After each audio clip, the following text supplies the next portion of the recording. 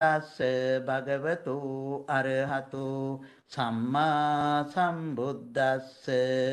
නමෝ තස්ස භගවතු අරහතු සම්මා සම්බුද්දස්ස.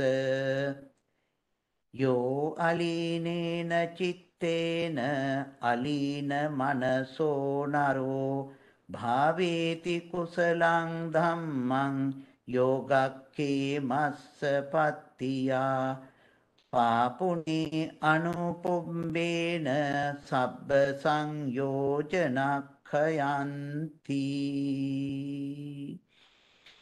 සදාවන්ත සත්පුරුෂ පින්නතුනි අපි ජාතක කතා පොතෙහි 55 වෙනි ජාතක කතාවයි අද දේශනා කරන්නේ. අපි අපේ දේශනා මාලාවේ 56 වෙනි එක. මේ ජාතක කතාව හඳුන්වන්නේ පංචායුධ ජාතකය කියලා. ඉතින් පංචායුධ ජාතකය කියනකොට මම හිතන්නේ කාටත් මතක් වෙනවා මේ වචනය හොඳට අහලා තියෙනවා පංචායුධ. මොකද ලංකාවේ තොරන් ආදී ඒවා සකස් කරනකොට බොහෝ වෙලාවට මේ ජාතක කතාව දැකලා ඇති. ඒ තැන්වලදී මේකත් දකින්න පුළුවන් එකක්. ඒ නිසා මේක බොහොම ප්‍රසිද්ධ ජාතක කතාවක්. මේ ජාතක කතාව දේශනා කරන්නේ බුදුරජාණන් වහන්සේ සවැත් නුවර චේතවනාරාමේ වැඩ ඉන්න අවස්ථාවේදී. ඉතින් ඒ වෙලාවේ වීරිය අතහැරපු භික්ෂූන් වහන්සේ නමක් අරමුණු කරගෙන දේශනා කළේ. යම් හාමුදුරු නමක් වීරිය අතහැරලා භාවනා කරන්නේ නැතුව ඉන්නවා දකින්නකොට අනික් හාමුදුරුවරු කරුණ විමසලා මේ හාමුදුරුවන්ව බුදුරජාණන් වහන්සේ ළඟට එක් කරගෙන එනවා. ඉතින් එහෙම ආවයින් පස්සේ බුදුරජාණන් වහන්සේ මේ හාමුදුරන්ගෙන් ඇත්තද කියලා අහලා මේ හාමුදුරන් වහන්සේගේ වීරිය ඇති කරවන්නට අවශ්‍ය කරන ඒ කරුණු කාරණා දේශනා කරමින් මේ වීරියවන්ත කෙනෙක් බවට පත් කරවලා නිවන අවබෝධ කරවන්නට අවශ්‍ය කරන ධර්මතාවයන් දේශනා කරනවා. ඉතින් මේ ජාතක කතාවේදී මේ වීරිය අතහැරපු හාමුදුරන් වහන්සේ අරමුණු කරගෙන තමයි මේ ජාතක කතාව දේශනා වෙන්නේ. ඉතින් බුදුරජාණන් වහන්සේ දේශනා කරනවා මේ ජාතක කතාවේදී බරණැස් නුවර බ්‍රහ්මදත්ත කියන රජුරුව රාජ්‍ය කරන කාලේ යට ගිය දවස බ්‍රහ්මදත්ත නම් රජ කෙනෙක් රාජ්‍ය කරන කාලේ නේද ඒක බරණැස් නුවර අපිට හොඳට හුරු පුරුදු වචන ටික. ඒ වගේම අපේ බෝසතාණන් වහන්සේ මේ බ්‍රහ්මදත්ත රජුරුවන්ගේ අගමෙහිසියගේ කුසින් මෙලව උප්පත්තිය ලබනවා. ඉතින් රාජකුමාරයෙක් හැටියට. එමේ රාජකුමාරයා ඉපදුනයින් පස්සේ රජ්ජුරුවෝ 108ක් බමුණන් ගෙන්වලා ඒ බමුණන්ට බොහෝ සෙයින් සංග්‍රහ කරලා ඒ අයට ඒ අයට ප්‍රකාශ කරනවා මේ කුමාරයාගේ ලක් දේහ ලක්ෂණ බලලා කුමාරයාට නමක් තියන්ටයි කියලා. ඉතින් අද අපේ සමාජයේ බොහෝ අය ඉන්නවා ඉතින් ඒ අයගේ නමත් ඒ වගේම ක්‍රියාකාරීකමත් කියන මේ දෙක දෙවිදිහක්. නමුත් එදා නම තිබ්බෙනම් ඒ අයගේ ක්‍රියාකාරීත්වය කොහොමද කියලා එයාගේ ශරීර ලක්ෂණ අනුව බලලයි ඒ අය එහෙම සිද්ධ කළේ. අද ඉතින් එහෙම නැතිනම් අපට ඕනෑ තරම් මේ ජීවිතය අපට අහන්න දකින්න ලැබිලා තියෙනවා දන්නවා. ඉතින් මේ විදිහට මේ පුංචි කුමාරයාගේ දේහ ලක්ෂණ පරීක්ෂා කරලා බලලා මේ කුමාරයා බොහොම දක්ෂයෙක් වෙනවා. මේ පංච ආයුධ කර්මයේහි දක්ෂ කෙනෙක් වෙනවා රජතුමාගේ ඇවෑමෙන්. මේ රටේ රජ බවටත් පත් වෙනවා. ඒ වගේම එහෙම රාජ්‍යයට පත් වෙලා මෙයා මේ මේ කුමාරයා දසසාජ ධර්මයෙන් රාජ්‍ය කරනවායි කියන බව ප්‍රකාශ කරනවා. ඉන්සා මේ අය මේ පුංචි කුමාරයාට නමක් තියෙනවා පංචායුධ කුමාරයා කියලා. දැන් මේ පංචායුධ පුංචි කුමාරයා රාජකුමාරයා රජවාසලේ හැදෙනවා වැඩෙනවා. මේම හැදිලා වැඩුණයින් පස්සේ සොළොස්වියට පැමිණෙනවා. සොළොස්වියට පැමිණුණයින් පස්සේ රජ්ජුරුවෝ මේ කුමාරයා ආමන්ත්‍රණය කළා කියනවා පුතා දැන් ඔබ ශිල්ප ශාස්ත්‍ර ඉගෙන ගන්න වයසට පැමිණිලා තිබෙන්නේ. ඒ නිසා දැන් ඔබ ශිල්ප ශාස්ත්‍ර ඉගෙන ගන්නට යන්ටයි කියලා මේ කුමාරයාට ප්‍රකාශ කරනවා. එතකොට කුමාරයා අහනවා කොහාටද මම ශිල්ප ශාස්ත්‍ර ඉගෙන ගන්නට යන්නේ කියලා. එතකොට රජුරු ප්‍රකාශ කරනවා ගන්ධාර රට තක්ෂලාව තියෙනවා. ඒ තමයි හොඳම තැන. නිසා ගන්ධාර රට තක්ෂලාවට යන්ටයි කියලා කුමාරයාව පිටත් කරනවා. කුමාරයාට දහසක් මුදල් දෙනවා. එමේ දහසත් අරගෙන කුමාරයා මේ තක්ෂලාවට යනවා ගන්ධාර රට. ඉතින් ගන්ධාර රට තක්ෂලාවට ගිහිල්ලා මේ කුමාරයා බොහොම හොඳින් ශිල්ප ශාස්ත්‍රය ඉගෙන ගන්නවා. හොඳ දක්ෂයෙක් හැටියට ශිල්ප ශාස්ත්‍රය ඉගෙන ගන්නවා. ඉතින් එහෙම ශිල්ප ශාස්ත්‍ර ආධාරලා ඒ ගුරුවරුන්ගෙන් ලැබෙනවා පංචායුධයක්.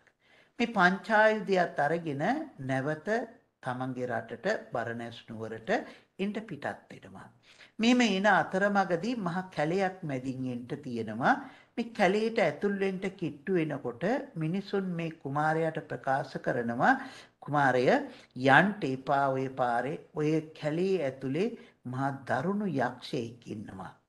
මේ කැලේට ඇතුල් වෙන අයව මේ යක්ෂයා මරාගෙන කනවා. ඒ නිසා ඔබ යන්න එපා කියලා මේ කුමාරයාට ප්‍රකාශ කරනවා. කුමාරයා මේක ගණන් ගන්නෑ මම මේ යක්ෂයාව සංසුන් කරනවා යක්ෂයා මගේ ආහාර අනුභව කරන්නට ලැබින්ට සලස්වන්නේ නැහැ කියන බව ප්‍රකාශ කරමින් මේ යක්ෂයා ඉන්න කැලේට මේ පංචායුධ කුමාරයා ඇතුල් වෙනවා. මෙම ඇතුල් වුණයින් පස්සේ මේ යක්ෂයා විශාල ශරීරයක් මවා ගන්නවා. ඉතින් තල් ගසක් පමණ උස ශරීරයක් තියෙනවයි කියනවා. මෙයාගේ මුහුණේ ප්‍රමාණය ගියක් තරම් විශාලයි කියලා කියනවා. ඉතින් ඒ පමණ හිසක් තියෙන පාත්තරයක් විතර විශාලට මෙයාගේ ඇස් තියෙනවයි කියනවා. ඒ වගේම මෙයාගේ දල දෙකක් තියෙනවයි කියනවා. ඒ දල හරියට නෙළුම් දඬු වගේ නෙළුම් මේ දඬු වගේ මෙයාගේ මේ ප්‍රමාණයේ දල තියෙනවයි කියනවා. ඒ වගේම මේ ලප ඇති මේ උදරයක් තියෙනවා. ඒ වගේම සුදු මුහුණක් තියෙනවා. ඒ වගේම අත්පා නිල් පාටයි. කියන්නේ තද කළු පාටක් මෙයාගේ පෙනෙන්න තියෙනවා. ඉතින් දැක්කාමත් ඇහුවාමත් බය හිතෙන රූපයක් මෙයා මවාගෙන තියෙන්නේ. ඉතින් මෙයා මේ රූපය මවාගෙන මේ බෝසතාණන් වහන්සේ නැත්තම් මේ පංචායුධ කුමාරයා ඉදිරියට එනවා ඔබ කොහි යන්නේහිද කියලා මේ මගේ භෝජනය තමයි අද ඔබ ඒ නිසා ඔබ ඔහොම නතර වෙන්න කියලා මේ ප්‍රකාශ කරනවා. එහෙම ප්‍රකාශ කළයින් පස්සේ මේ පංචායුධ කුමාරයා මේ යක්ෂයා දැකලා මේ මම මේ වනයේට පිවිසුනේ ඔබට බය නෙමේ. ඔබට බය නම් මම මේ වනයේට පිවිසෙන්නේ නැහැ. ඒ නිසා ඔබට මාව අනුභව කරන්නට බැරිය කියලා මේ කුමාරයා Taman ළඟ තියෙන ආයුධ පාවිච්චි කරනවා. පළමුවෙන්ම විස යොදපු දුනු මේ ඊතල පාවිච්චි කරමින් දුන්නෙන් විදිනවා. එකක් දෙකක් විදිනවා ඒ සියල්ලම ඇඟි ඇලෙනවා. දුනු 50ක්ම විදිනවා ඊතල 50ක්ම විදිනවා ඒ සියලුම ඊතල ටික මේ යක්ෂයාගේ ඇඟේ ඇලෙනවා. ඉතින් යක්ෂයා මේ ඇඟ ගසා දාලා ඊතල ටික බිමට දමනවා. ඊළඟට මේ කුමාරයා ප්‍රකාශ කරනවා මං ඔබට බය නෑ ළඟට ඉන්ටයි කියලා කුමාරයාත් ඉදිරියට යනවා.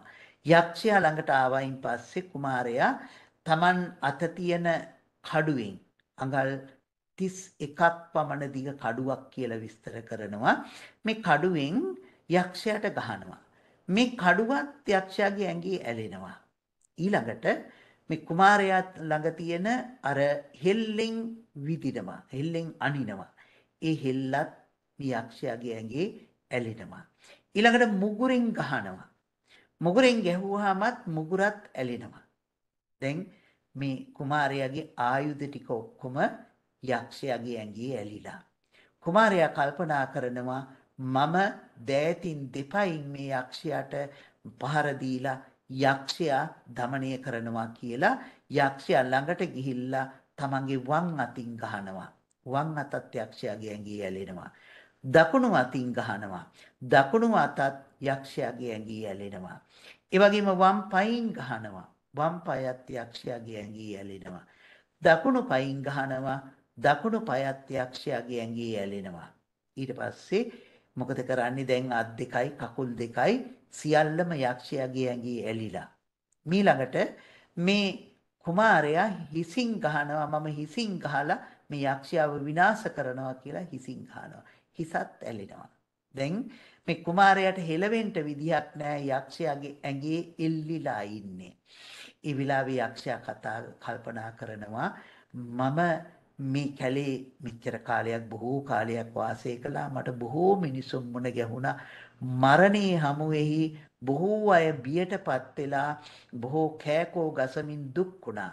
නමුත් මේ කුමාරයා පුරුෂ සිංහෙක් පුරුෂ ශේෂ්ඨයෙක් කිසිම බයක් නැතුව මා සමග මේ ප්‍රකාශ කරන ප්‍රකාශ කිරීම මේ සියල්ල දැකලා යක්ෂයා තැති ගන්නවා.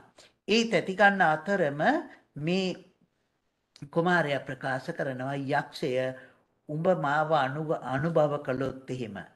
මගේ මේ මේ ශරීරයේ ඇතුලේ මගේ ලයෙහි තියෙනවා ආයුධයක් චක් මේ ඒ ආයුධය මේ ඔබේ ඇඟි ඇනිලා මේ ඔබ ඔබේ මේ මේ පපුවත් පැලිලා කොන්දත් පැලිලා බඩවැල් ඉරිලා කෑලිවලට කැපිලා ඔබව විනාශ වෙනවා.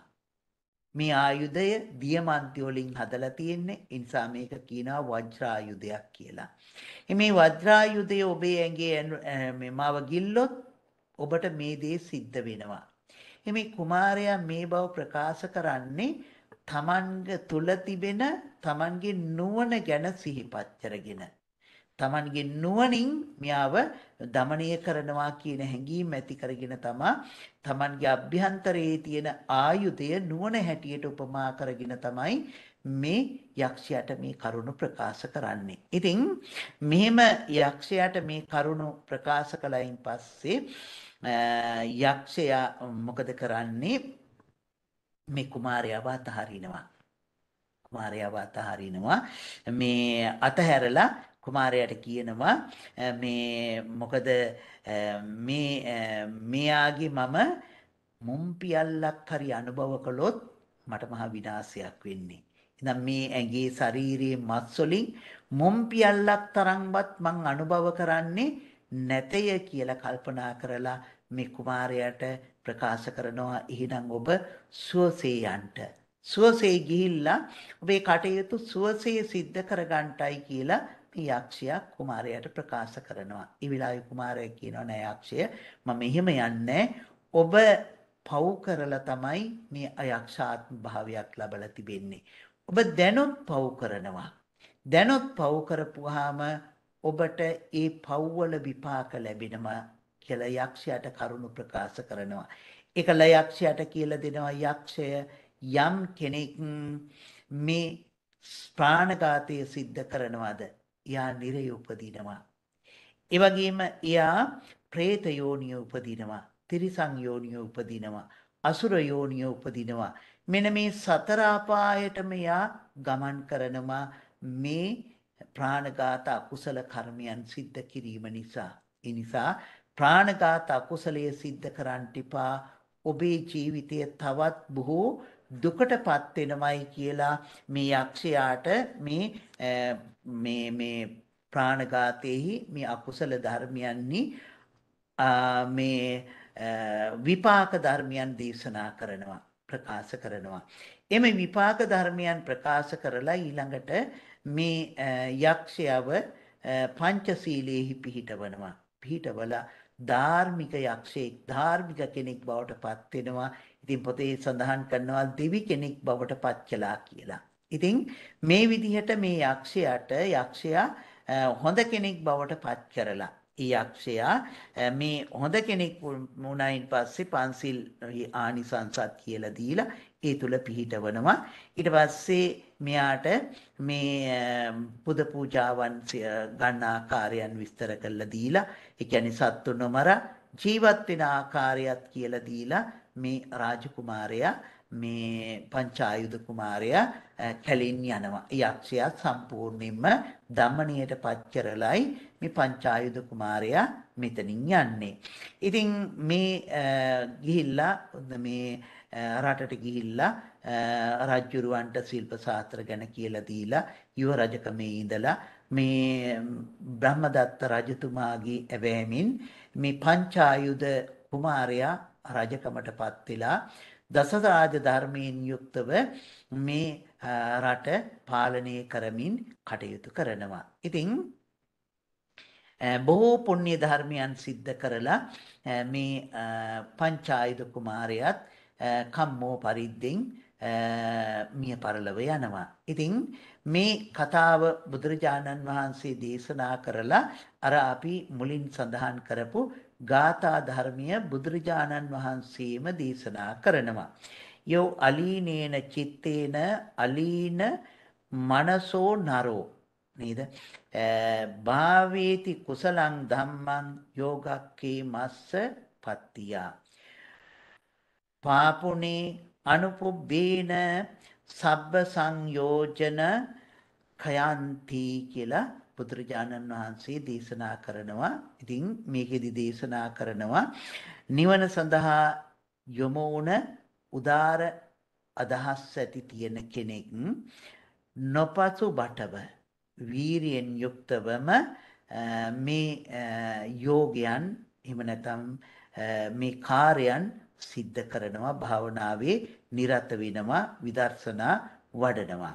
ඉතින් ඒ සඳහා මේ කුසල ධර්මයන් එම නැත්තම් සත්‍තිස් බෝධිපාක්ෂික ධර්මයන් වැඩීමෙන් මේ තැනැත්තා මේ සසර බැමි නැත්තම් සංයෝජන ධර්මයන් ප්‍රහීන කරමින් නිවනට පැමිණෙනවා කියන කරුණ දේශනා කරමින් මේ චතුරාර්ය සත්‍ය දේශනා කරමින් අරිහත් භාවයේ කරා ගමන් කරවන්නට අවශ්‍ය කරන කරුණු ධර්ම දේශනාවක් සිද්ධ කරනවා. මේ ධර්ම දේශනාව අවසානයේහි අර කුසීතව කටයුතු කරන්නට යෙදුන හාමුදුරුවෝ කුසීතව කියන්නේ වීරිය අතහැරපු හාමුදුරුවෝ සියලුම කෙලෙසුන් නැසලා උතුම් වූ අරිහත්ත්වයේ පිහිටනවා. බොහෝ දිනාට ධර්ම අවබෝධය සිද්ධ වෙනවා. ඉතින් මේ ජාතක කතාව මේ විදිහට දේශනා කරලා බුදුරජාණන් වහන්සේ పూర్ව පරසන්දි කලපනවා ඒදි බුදුරජාණන් වහන්සේ දේශනා කරනවා මේ ජාතක කතාවේ විස්තර වෙන විදිහට මේ ජාතක කතාවේ